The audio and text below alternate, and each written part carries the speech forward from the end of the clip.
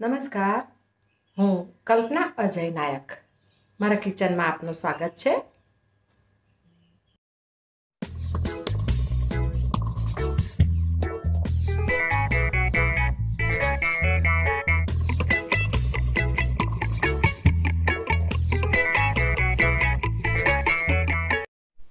સૌથી પહેલાં તો રતાળુ ખીર બનાવવા માટે બસો ગ્રામ રતાળું લીધો છે. એને આ રીતે બરાબર છોલી લઈશું. અને છોલ્યા બાદ એને પાણી વડે ધોઈને કટકા વડે સાફ કટકાથી લૂછી લઈશું. અને હવે એલ્યુમિનિયમ ફોઇલમાં વીંટીને એને પાંચ મિનિટ વરાળમાં બોઇલ કરવાનો છે. આ રીતે જાળીવાળું સાધન લઈ અને એને તપેલીમાં નીચે પાણી મૂકવાનું અને પાંચ મિનિટ સુધી વરાળમાં બાફી લેવાનો છે.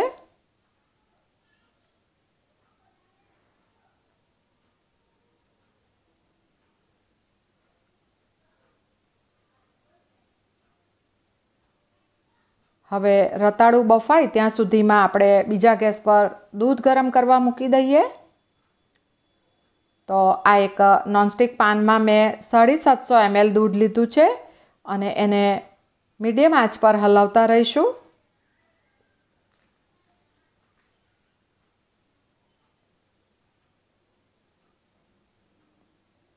આજે આપણે રતાળુની ખીર, કાચા કેળાનું શાક, રાજગરાની પૂરી બનાવવાના છીએ.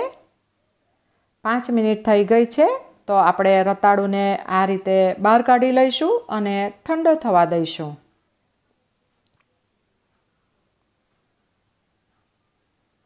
હવે તમે જોઈ શકો છો, દૂધમાં મલાઈ આવવાની પણ સ્ટાર્ટ થઈ ગઈ છે અને આ રીતે હલાવતા રહીશું. ફરતે જે મલાઈ બાજે છે એને પણ ઉખેડતા જઈશું અને દૂધમાં જ મિક્સ કરતા જવાનું. જેથી આપણી ખીર એકદમ મલાઈદાર બનશે. હવે આ દૂધને મેં બીજા ગેસ પર મૂકી દીધું છે અને વચ્ચે વચ્ચે એને હલાવતી રહીશ. અને બીજા ગેસ પર આપણે કેળાના શાકની તૈયારી કરીએ તો આ ત્રણ નંગ કાચા કેળા લીધા છે અને વજનમાં સાડી ત્રણસો ગ્રામ છે. તો આ રીતે એની છાલ ઉતારી લઈએ. અને આ રીતે ફ્રેશ કેળા હોય એ લેવાના, પોચા પડી ગયેલા હોય એ નહીં વાપરવાના, તો જ તમારું શાક સરસ બનશે. આ રીતે મેં બધા કેળાને છોલી લીધા છે. હવે એને આ રીતે ટુકડા કરી લઈએ.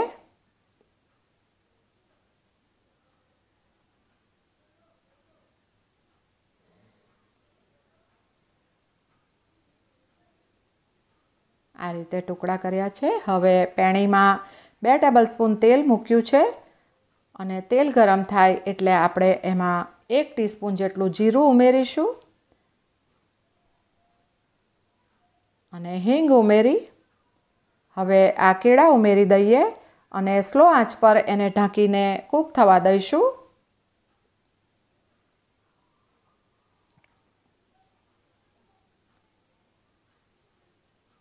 હવે શાક થાય ત્યાં સુધીમાં આપણે દૂધને જોઈ લઈએ અને હલાવી લઈએ.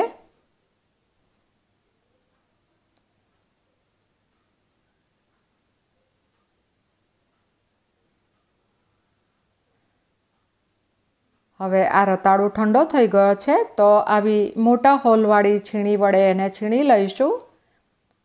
રતાળુને આપણે છીણીને ઉમેરવાના છીએ. શાકમાં ફરીથી જોઈ લઈએ અને હલાવી લઈશું. સ્લો આંચ પર રાખવાનું છે. કેળા બહુ જલ્દી કૂક થઈ જાય છે, માટે ગેસની ફ્લેમ લો જ રાખવાની છે. તો હવે એક ટીસ્પૂન જેટલી હળદર ઉમેરી હાફ ટીસ્પૂન લાલ મરચું અને સ્વાદ મુજબ સિંધા મીઠું ઉમેર્યું છે. ઉપવાસનું મીઠું ઉમેરીશું અને ફરીથી એને ઢાંકીને કૂક થવા દઈએ.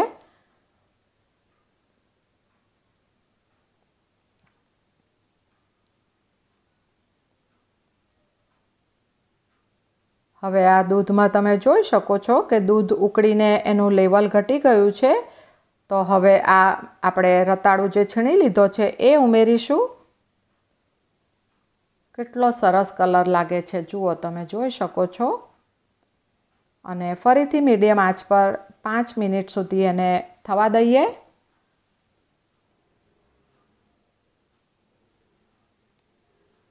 ખૂબ સરસ કલર આવ્યો છે રતાળુનો.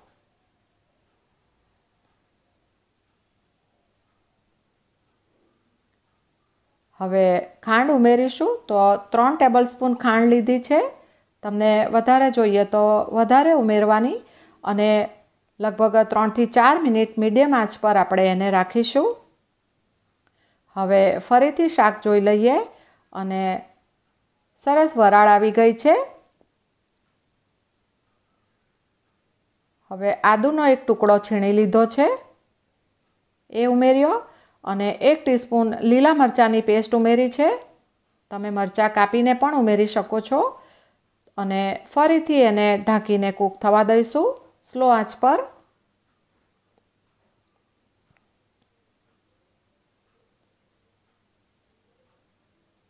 હવે તમે જોઈ શકો છો, આપણી ખીર એકદમ પરફેક્ટ તૈયાર થઈ ગઈ છે. તો ગેસ બંધ કરી દીધો અને શાકને ફરીથી જોઈ લઈએ. તો આ રીતે હલાવીને કેળાને ચેક કરી લેવાનું અને બરાબર કૂક થઈ ગયા છે કેળા. તો એક ટેબલ સ્પૂન તલ ઉમેર્યા અને એક ટેબલ સ્પૂન કાચા શિંગદાણાને ક્રશ કરી લીધા છે. એ ઉમેર્યા છે. અને થોડી ચોપ કરેલી કોથમીર ઉમેરી. તમે ઉપવાસમાં કોથમીર ન ખાતા હો તો સ્કીપ કરી દેવાની. અને આપણું શાક મોસ્ટલી તૈયાર છે. તો હવે ગેસ બંધ કરી દઈશું.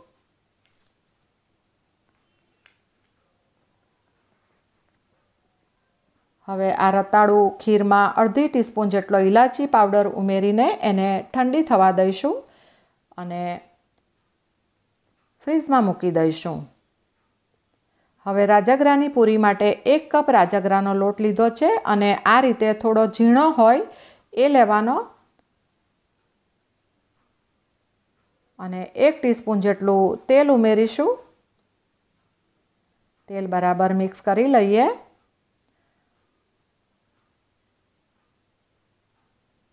આમાં તેલ વધારે નથી ઉમેરવાનું. હવે અડધો કપ જેટલું પાણી લીધું છે, આપણે થોડું થોડું ઉમેરતા જઈએ અને લોટ બાંધી લઈએ.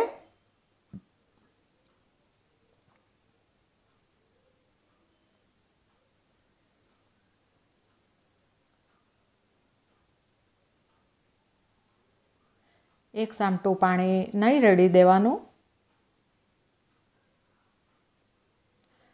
આ રીતે લોટ બાંધી લીધો છે મેં. જુઓ, અને અડધો કપ પાણી લીધું હતું. એમાંથી બે ટેબલ સ્પૂન જેટલું પાણી બચ્યું છે. હવે હાથમાં થોડું તેલ લઈને ફરીથી લોટને સ્મૂથ કરી દઈએ અને લુવા કરી લઈશું.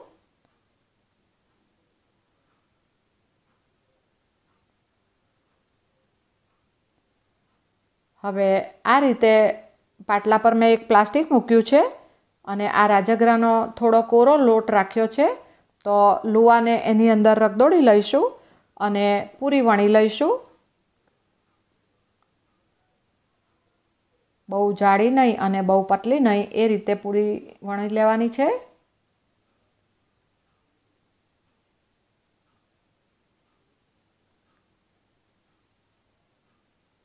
જુઓ, આ રીતે આપણે પૂરી વણી લેવાની. અને આપણો લોટ એટલો સરસ પરફેક્ટ બંધાયો છે કે પ્લાસ્ટિક વિના પણ તમે આરામથી વણી શકો છો. થોડું લોટનું અટામણ લેવાનું અને પૂરી વણી લેવાની. તમને બતાવું છું.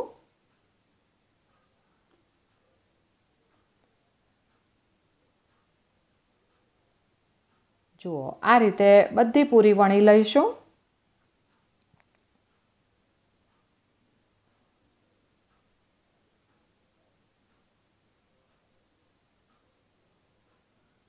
હવે પેણીમાં તેલ મૂક્યું છે અને આ પૂરી વણી લીધી છે. તેલ ગરમ થઈ ગયું છે તો ગેસને આપણે મીડિયમ આંચ પર રાખીશું અને પૂરી તળવાની છે.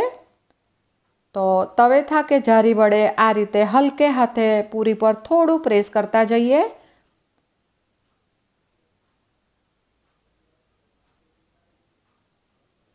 વાવ, જુઓ, તમે જોઈ શકો છો એ એકદમ ફૂલેલી પૂરી તૈયાર થઈ છે. બંને બાજુ થોડી બદામી કલરની થાય એટલે આપણે એને બહાર કાઢી લઈશું. બીજી પૂરી તળીને બતાવું છું.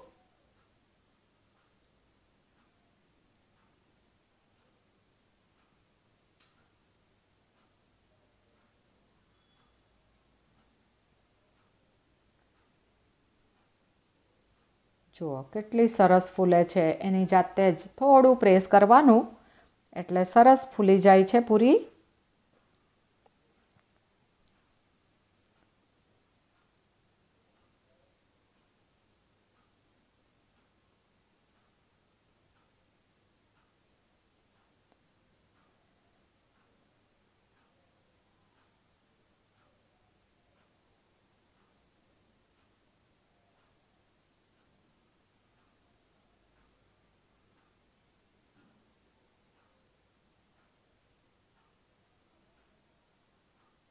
અને મારી ઘણી બહેનોની ફરિયાદ હોય છે કે રાજગરાની પૂરી તળ્યા બાદ એકદમ હાથમાં તેલથી ચીપચીપી થઈ જાય છે અને બરાબર ખીલતી નથી. પરંતુ તમે આ રીતે બનાવજો. ચોક્કસ તમારી પૂરી એકદમ સરસ બનશે. જુઓ, તેલ તેલ પણ નથી લાગતું અને એકદમ દળદાર બની છે. જુઓ, તમને બતાવું છું, એકદમ કોરી થઈ જાય છે અને આવી ખીલેલી જ રહેશે. તો હવે સર્વિંગ કરીએ, તો આ રતાળું ખીર મૂકી, એના ઉપર થોડા ડ્રાયફ્રૂટ્સ અને ગુલાબની પત્તી મૂકી છે. હવે કેળાનું શાક મૂકીશું અને રાજગરાની પૂરી મૂકીશું. બટાકાની વેફર થોડી તળી લીધી છે. તો આપણી ફરાળી ડીશ તૈયાર છે અને જુઓ, તમે ખીર પણ જોઈ શકો છો. અને આમાં જે બટાકાની વેફર મૂકી છે તે પણ મેં ઘરે જ બનાવી હતી. તમને જો એનો વીડિયો જોઈતો હોય તો કોમેન્ટ બોક્સમાં જરૂરથી લખજો. જેથી ફરીથી જ્યારે વેફર બનાવું ત્યારે હું ચોક્કસ વીડિયો બનાવીને મૂકીશ.